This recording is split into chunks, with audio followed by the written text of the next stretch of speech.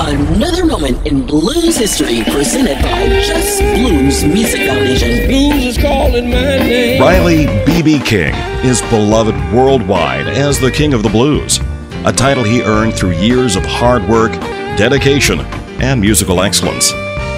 Born near Itta Bena, Mississippi in 1925, he picked up the guitar early, and after moving to Memphis and getting a job as a radio host on WDIA, he also began performing around town, forging a style that combined the emotional intensity of the blues with the swinging elegance of big band jazz, along with a lyric sensibility that was heartfelt, humorous, and, above all, fearlessly honest.